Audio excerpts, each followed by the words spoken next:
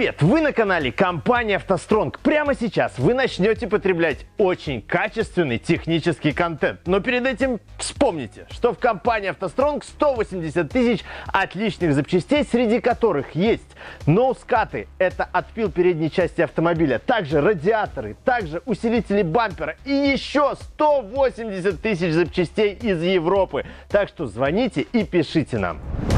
Как и всегда, мы обрабатываем каждый ваш комментарий. Вы просили, мы разбираем, встречаем популярный двигатель от Opel Z16 XER. Двигатель Z16XR – это продолжатель семейства 16-клапанных атмосферных двигателей Opel. Данный двигатель появился в 2007 году, и вместе с ним на моторах Opel появились фазовращатели, причем сразу на двух распредвалах. Поэтому ГБЦ у этого двигателя и предшественника разные. У данного двигателя нет гидрокомпенсаторов. Также в данном моторе пластиковый впускной коллектор с механизмом изменения его длины. Данный двигатель соответствует экологическим нормам Евро-4. Он более тяговит и экономичен. На базе этого мотора был построен турбомотор объемом 1.6, а также более задушенный под нормы Евро-5 двигатель. Данный мотор выпускался аж до 2015 года. Двигатель Z16XR устанавливался на такие автомобили, как Opel Astra H, Zafira B, также на Chevrolet Cruze и Tracker. Там он обозначался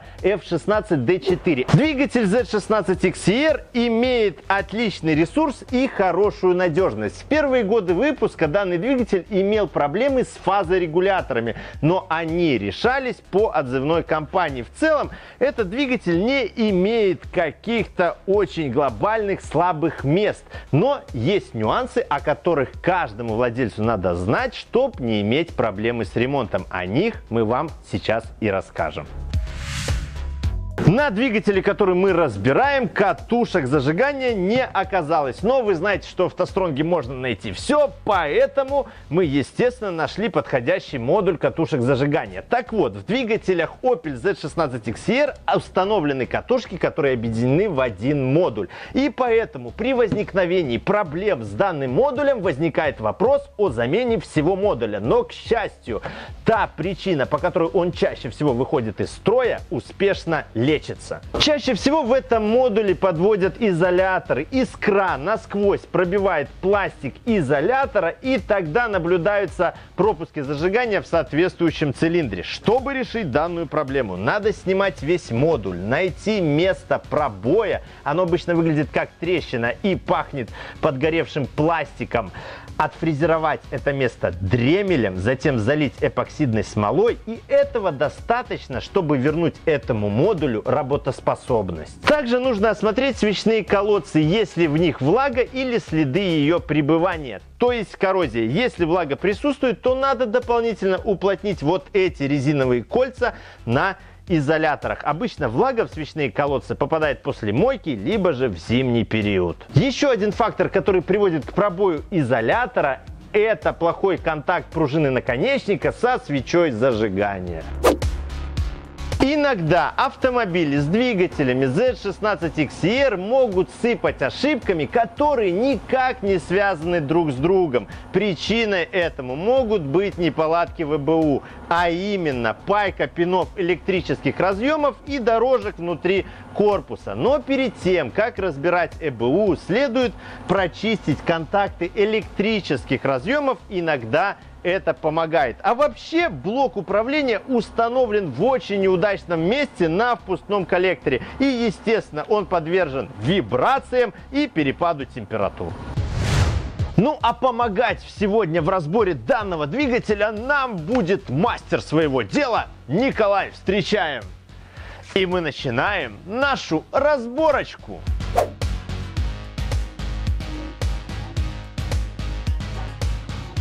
Двигатель Z16XER оснащен электронно управляемым термостатом. Он полностью открывается при температуре 105 градусов, а если двигатель испытывает дополнительные нагрузки, то при температуре 90 градусов. Открытие термостата осуществляется встроенным в него нагревателем. О высоких нагрузках на двигатель ЭБУ узнает по показаниям дополнительного датчика температуры, который установлен в радиаторе. Система управления автомобиля может сравнить температуру охлаждающей жидкости в радиаторе и возле термостата и выдать ошибку, которая косвенно указывает на плохую работу термостата. Это, кстати, может помочь предотвратить перегрев двигателя, а такая проблема случается. Как показала практика, данный термостат служит около 50 тысяч километров. Хороший неоригинальный стоит около 50 долларов. Оригинальный в разы дороже.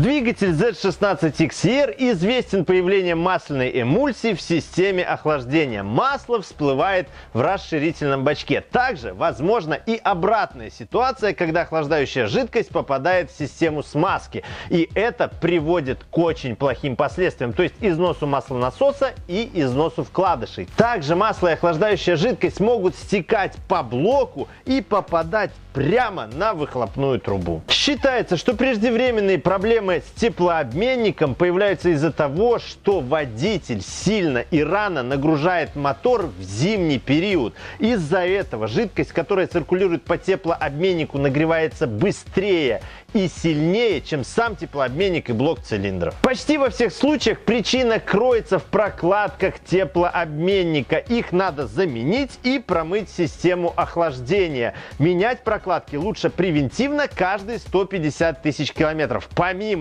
вот этих трех прокладок, надо еще заменить уплотнительные кольца на трубках подачи и отвода антифриза. То есть всего получается 8 позиций. Также известны редкие случаи появления трещин внутри теплообменника. Поэтому при замене прокладок его надо снять и продуть.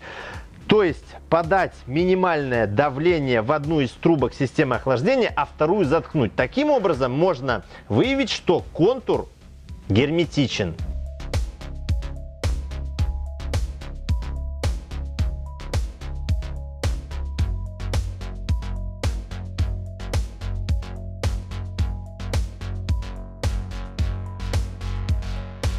Двигатель Z16XER оснащен пластиковым впускным коллектором с механизмом изменения его длины. Системы Twin Port, как на двигателе Z16XEP, здесь нет. Данный пластиковый впускной коллектор из системы изменения его геометрии работает исправно и долго.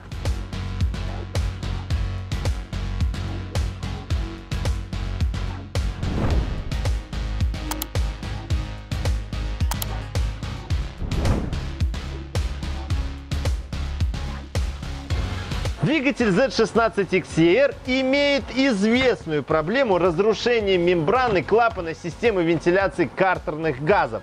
Клапан системы вентиляции картерных газов является частью клапанной крышки, поэтому завод не предусматривает замену этой детали как отдельную, только вместе с клапанной крышкой. Но решение уже давно найдено. Надо просто снять клапанную крышку, снять заднюю крышку клапана, поставить новую мембрану, благо благо сейчас заменителей хватает, а также мастерские предлагают клапанные крышки с уже замененной мембраной взамен на крышку клиента. Симптомы лопнувшей мембраны в первую очередь проявляются в нестабильных и скачущих оборотах. Также крышка маслозаливной горловины будет сильно присасываться. Есть еще один симптом. Мотор будет очень нестабильно работать при снятии крышки маслозаливной горловины, а также при доставании масляного щупа. При наличии трещины в мембране слышен свист воздуха через отверстие в ее корпусе в клапанной крышке. Этот свист пропадает при открытии крышки маслозаливной горловины, а также при вынимании щупа.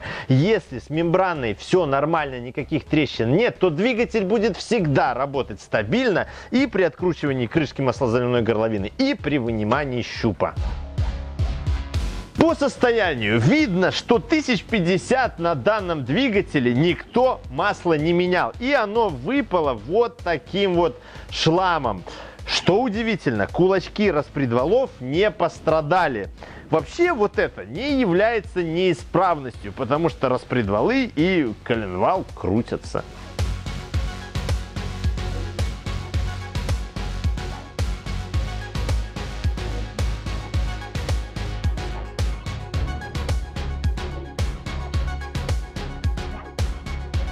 На обоих распредвалах двигателя Z16XR установлены муфты фазовращателей. При больших пробегах, а также некачественном масле данные муфты могут издавать стук и треск в первые секунды после запуска двигателя. Данный звук в народе называется дизелением, но его часто путают с соканием гидрокомпенсаторов. Но гидрокомпенсаторов на данном двигателе нет. Фиксаторы стучат из-за ухудшения снабжения маслом. То есть давление масла хватает для выдавливания фиксатора ротора муфты, но не хватает для наполнения ее камер маслом. Это происходит из-за засорения сеток фильтров управляющих клапанов, также из-за засорения масляных каналов, также из-за подклинивания редукционного и предохранительного клапана, а также из-за износа самих муфт. Цоканье, вот это, которое происходит в первые секунды после запуска двигателя, это предвестник проблем. Если функционирование системы изменения фаз газораспределения нарушено, то ИБУ фиксирует соответствующие ошибки по кратковременному либо постоянному сбою. Коды этих ошибок P0010, P0011, P0013 и P0014. Также в первые годы выпуска данные двигатели отзывали для замены муфт, а также замены электрогидравлических клапанов. Каждая муфта управляется отдельным электромагнитным клапаном. При выходе из строя одного из клапанов регулирование фаз газораспределения прекращается. Причем муфта может заклинить в одном из крайних положений, в зависимости от того, в каком положении заклинил шток электромагнитного клапана. А если заклинит управляющий клапан, то тогда масло непрерывно подается в муфту, и это приведет к выдавливанию сальника распредвала. Это масло может попасть на ремень ГРМ и это приведет к перескоку ремня. Решение проблем со стуком фазовращателей, а также с ошибками в работе данной системы могут затянуться. Бывает, что при замене двух муфт, а также клапанов стуки продолжаются. В этом случае надо перепроверять все варианты, то есть осматривать масляную магистраль и клапаны в масляном насосе. Но в любом случае все проблемы с данной системой сводятся к хреновому масляному сервису.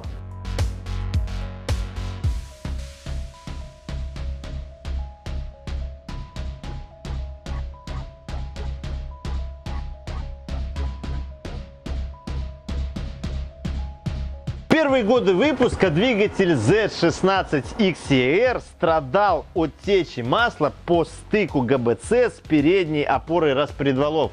Для решения данной проблемы надо было снимать эту опору, все сопутствующие детали, чтобы посадить ее на гермет. Состояние данной ГБЦ, как и у всего мотора, нагар на клапанах и в камерах сгорания, то есть мотор масло ел. Двигатель Z16XR не имеет гидрокомпенсаторов, поэтому нуждается в регулировке тепловых зазоров. Производитель рекомендует регулировать тепловые зазоры каждые 150 тысяч километров.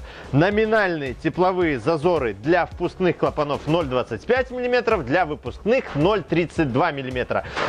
Эта процедура производится самым неудобным образом – подбором тарированных толкателей. То есть нужно измерить существующие зазоры, поднять распредвалы, рассчитать размеры регулировочных толкателей на основе существующих зазоров и толкателей.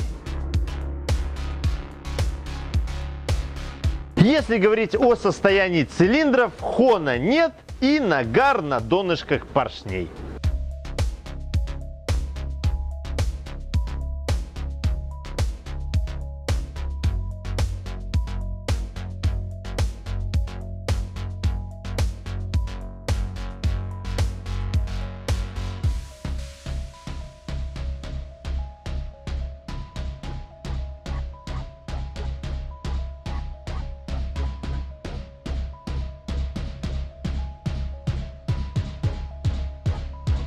Несмотря на то, что шлам выпал на поверхности ГБЦ, мы видим, что шатуны и коленвал неплохо перемалывали густое масло. Нету катастрофического износа ни на коренных, ни на шатунных вкладышах. А маслосъемные кольца, естественно, закоксованы. На шейках коленвала мы видим более-менее жидкое масло, а под ним видим следы износа. Разборка закончена, и сегодня мы разобрали действительно надежный опелевский двигатель. Меняйте масло вовремя и превентивно меняйте прокладки теплообменника, и будет все супер. Если вы хотите знать о моторах, коробках и БУ запчастях абсолютно все, обязательно подпишитесь на наш канал, поставьте лайк этому видео, заходите на наши соцсети, заходите на наш сайт и помните, что с вами всегда была есть и будет компания «АвтоСтронг».